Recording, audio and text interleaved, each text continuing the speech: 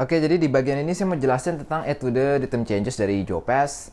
Ini salah satu etude yang saya sering banget pakai untuk ngajar rhythm changes karena memang konturnya balance banget dan ini eh, kayak satu rhythm solo yang panjang yang di, disusun oleh Joe Pass ya. Dan di sini selain kita bisa belajar posisi fingernya dia, eh, kita bisa belajar penjariannya dia dan eh, yang penting kita bisa analisis kalau Joe Pass tuh main rhythm changes di A1, A2 tuh dia ngapain sih atau di B tuh ngapain sih tujuannya emang selain teknik kita juga bisa uh, pakai licks yang dia licks yang dia mainin atau lines yang dia mainin. Jadi kita mau tahu nih cara berpikirnya dia kayak gimana. Kalau misalnya ada chord altered uh, resolve ke tonic ya kan. terus ada misalnya ada chain dominan dia tuh pikirnya kayak gimana sih? Jadi itu yang yang terpenting menurut saya dari belajar etude adalah gimana kita nganalisis satu satu lines. Terus gimana lines itu bisa kita pakai dalam dalam lines kita sendiri Thank you.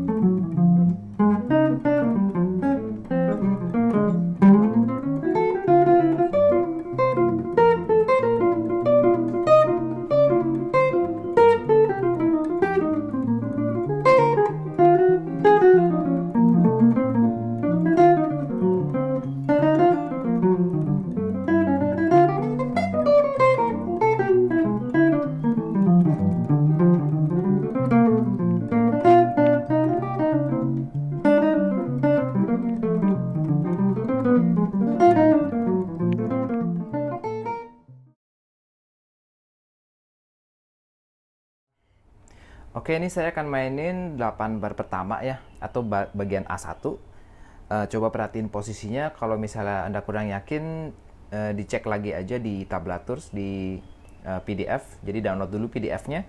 Uh, saya saranin sih di print ya, jadi Anda bisa sambil ngelihat PDF dan sambil ngelihat penjarian saya.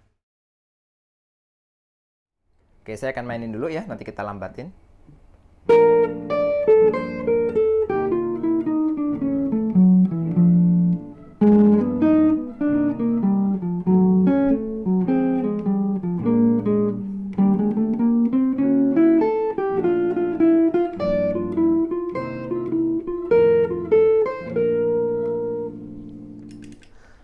jadi yang bagian pertamanya itu dia start dari fret 7 nih, jelas ya. Dan uh, dia mulai dengan penjarian ini uh, Ionian B flat. Jadi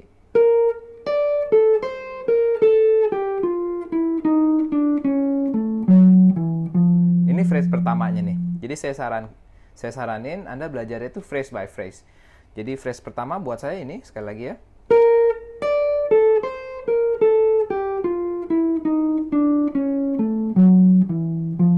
Kalau kita analisis dia main bass. Oke.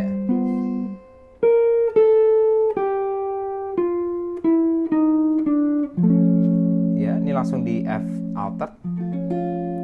Jadi ini kayak C minornya ya. Dia main kromatis ke bawah langsung ke F altered di sini. Jadi kayak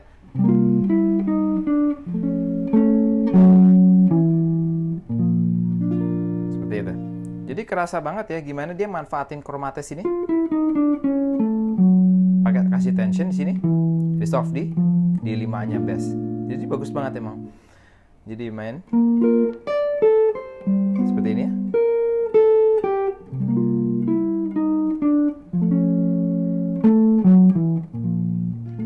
Kayak gitu. Nah itu phrase 1. Jadi uh, setelah ini kita lanjut ke phrase 2 ya. Phrase 2 itu memang agak aneh. Jadi dia mikirnya agak.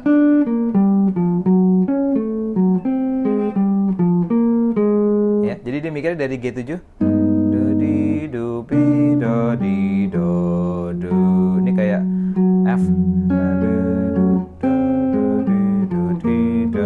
Masuk ke F. Ya jadi dia mikirnya G altered di sini. Ini kayak G altered. Terus dia main arpeggio flat 9 ya di sini. Ya. Jadi kayak as minor gitu ya sebenarnya. Tapi dia mikirnya gini. Saya tujuh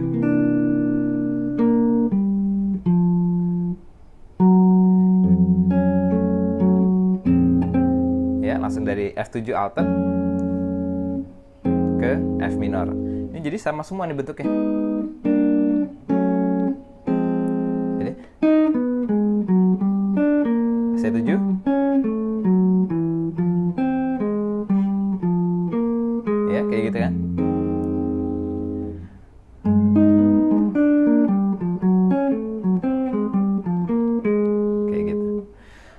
jadi kalau dua phrase itu kita gabung ya. 3 4 and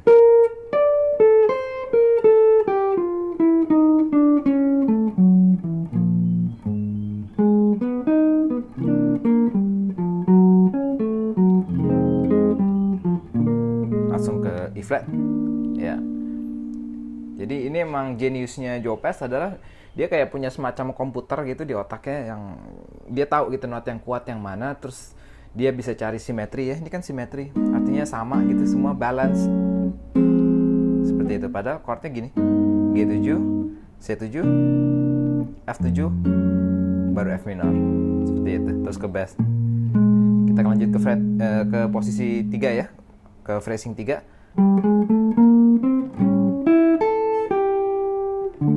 Ini hampir sama kayak eh, ini hampir sugestinya sih menuju ke situ ya. Padahal padahal nggak gitu.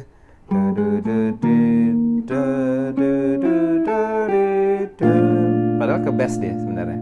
Ya. Jadi seolah-olah kayak dia main arpeggio dari A ya. Seperti itu.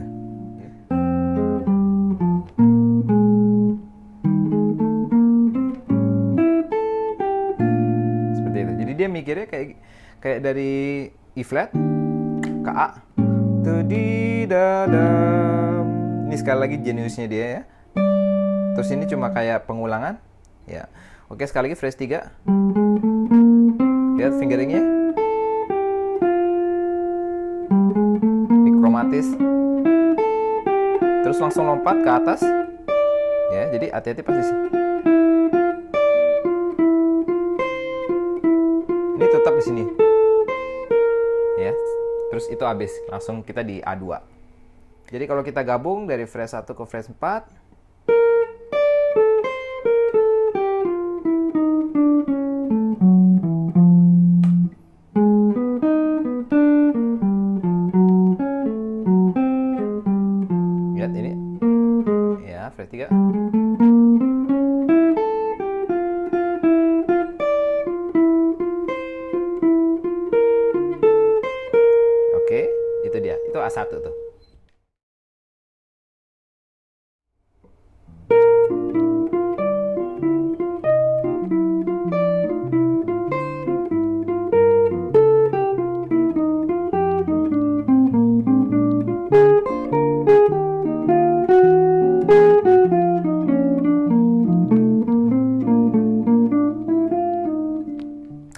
kemudian buat A2-nya, em, ini masih lanjut dari phrase yang terakhir tadi ya.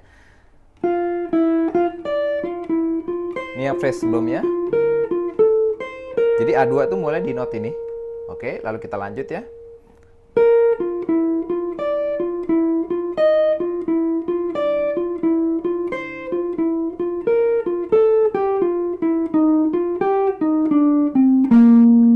Saya anggap habis di sini dulu ya, karena dia pas habis di bass.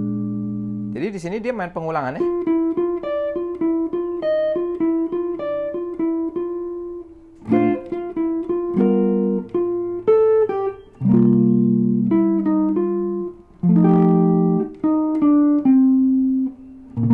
Langsung ke bass. Ya, jadi kalau misalnya kita analisis chordnya pergerakannya seperti itu. Lanjut ke berikutnya, ini kayak dia main arpeggio bass 7 biasa. Sekali lagi, jadi kayak misalnya saya main bassnya. Ini ada ninth ya. Ya. Ini arpeggio bass 7 9 ya. Terus softly.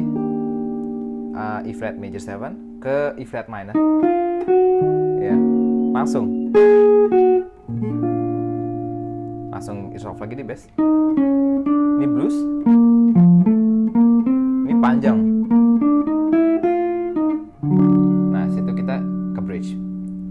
Saya ulang sekali lagi bagian A2 ya.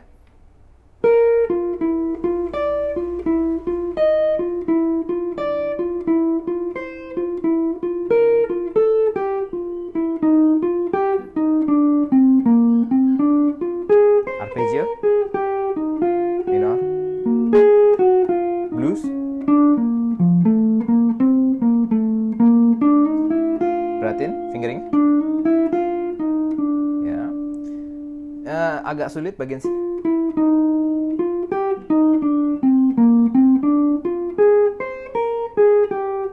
Minor, perhatiin fingering ya. Segitu ya. Terus kemudian mulai ini kelingking nih. Ini emang agak awkward, cuma emang harus kelingking. Oke, di situ. Kita habis bagian A2, kalau diulang.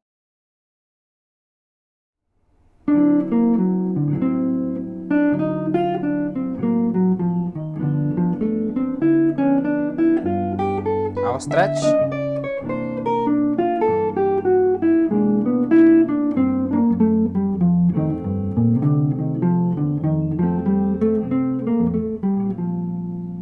Oke, lalu bagian bridge ya. Jadi tadi phrase terakhir. Jadi not terakhir itu di D. Ya, di sini. Jadi kita mulai di sini. Ya, tolong lihat di bagian PDF-nya ada di mana spotnya ya. Jadi mulai dari clinking di sini. Nah, ini bagus banget ya. Jadi sebenarnya ini arpeggio dari D7 altered. Lihat. Sini. Terus ini altered scales dari D. Gitu. Jadi kalau komplit altered, altered scalesnya ya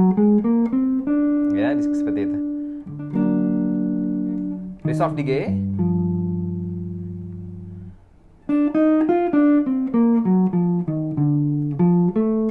arpeggio G sas 13 passing note. Nah ini menarik nih. Resolve, resolve di C nya ini bagian sini memang agak sulit, jadi memang butuh pengulangan ya. Jadi um, kita da da dari G arpeggio ya, sas, lihat fingering. Biasanya sih saya begini, terus clinking. Jadi langsung lompat aja, jangan ragu-ragu.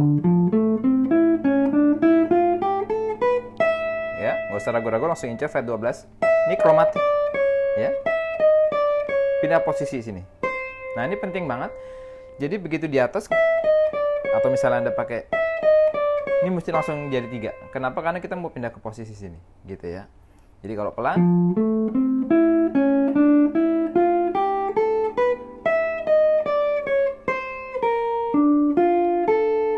ya itu.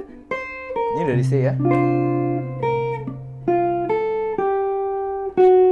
Ini aneh sekali. Jadi kayak C sharp 5, uh, flat 5 sorry. Jadi ini masih C ya.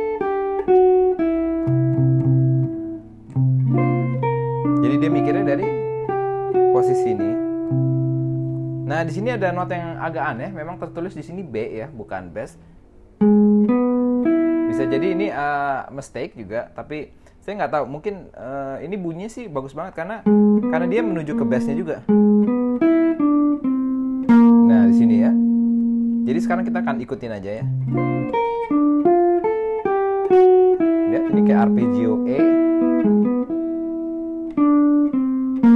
Ke posisi 7. Pindah ke 3. Ini satu phrase panjang aja. Habis di. Ya, jadi di sini C7 masih bisa. Baru ke F.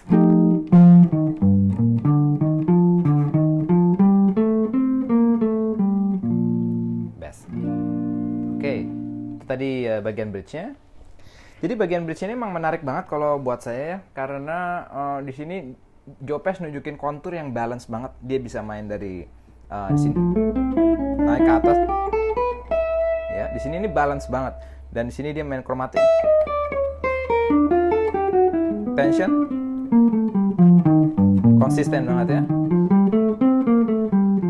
Resolve di situ. Dan pas resolve emang benar-benar kelar di bass ya.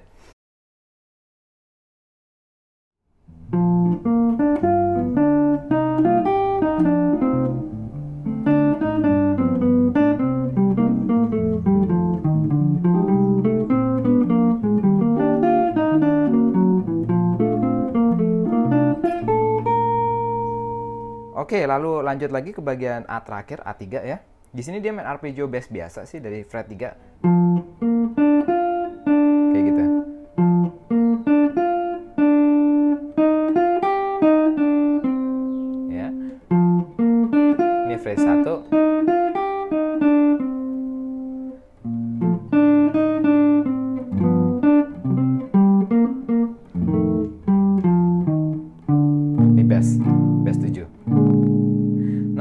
Nah itu vertikal banget, uh, bebopish banget buat saya. Ini simple banget ya, Ionian biasa. Nah di sini, jadi misalnya dia main G7 pas di third C minor, pas di F, ini langsung bass 7.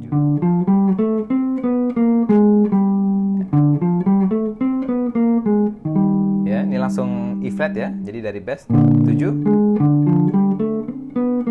E flat. Ini arpeggio. Langsung F, eh, E flat minor. Ya, langsung arpeggionya.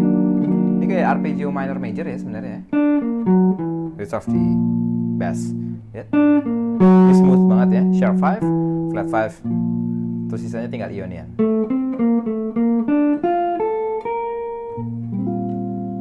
Sekilas kayak gitu ya. Uh, A3 ini bagus banget dan bebopish banget menurut saya.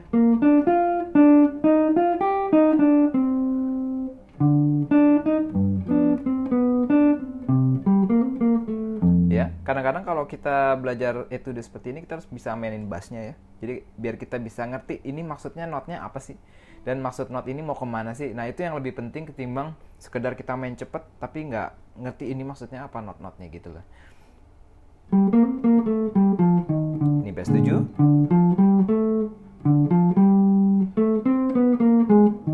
ke E flat. E flat minor.